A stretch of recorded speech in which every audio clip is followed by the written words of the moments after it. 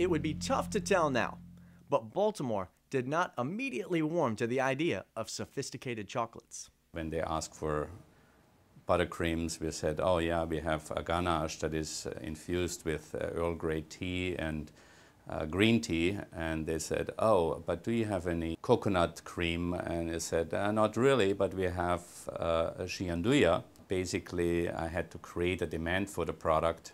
Yes, and one bag of hazelnuts, please. So year one saw its share of growing pains. But then the second, third year, I mean, it just, uh, the, the business basically doubled. Flash forward more than 25 years, and A. Kirchmayr not only continues to operate its successful retail store, but now ships worldwide and supplies local specialty shops with fine European chocolates.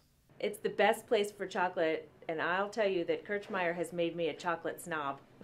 really, I don't like any other chocolate except for Kirchmayr. A far cry from when he experimented with gold leaf two decades ago. One day I got this call from this lady, and she said, uh, You know, I love your chocolate, but I found a piece of foil on top of it. That may have been the last time Kirchmayr used gold leaf, but the German born chocolatier never stopped believing he could refine the American chocolate palate.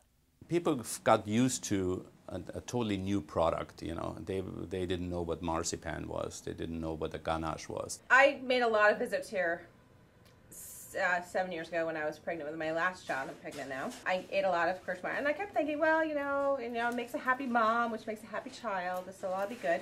And he really has been saying for a while that he doesn't like chocolate, and I've kind of introduced him to this. He's like, "Oh, I like this, mommy." I'm like, "Oh, so you like good chocolate? I did raise you correctly when I was pregnant." A. Kirchmayr specializes in chocolates. Uh, we take Turkish um, pistachios and basically fold it into some hot caramel and then cut it and then robe it in uh, dark chocolate. Truffles. Mandarin orange, champagne truffles, amaretto, pear William, coffee latte, and framboise. And seasonal gifts. Exactly. We have to paint the feathers, we have to paint the eyes so it gets more of a realistic look. It spins the, the chocolate around in the mold till it starts to set. So the outside is dark, but they're basically both milk and dark. In the, okay. But this one is completely with dark. I come for every holiday. I got, he makes me a big giant bunny on Easter. We've had the big giant Santa Claus. Our main clientele is basically um, the middle-aged to older people that, um, you know, appreciate the, the nicer thing in life. They, they uh, go more for the quality rather than the quantity. The same people who might be interested in chocolate's healthy properties.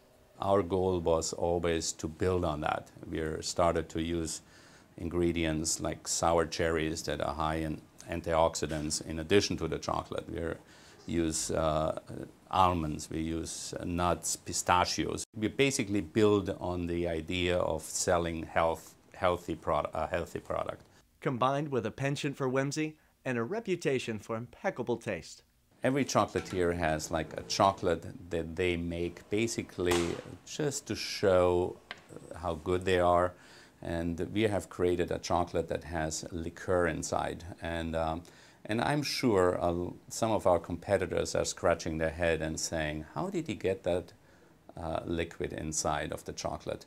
I'm going to put this in, so I don't want you to see this it's not a big seller, but it just shows the people that uh, we know our business. What else do I like? The chocolate covered hazelnuts, the um, the bark.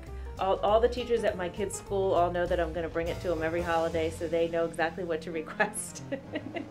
I'm addicted. What can I say?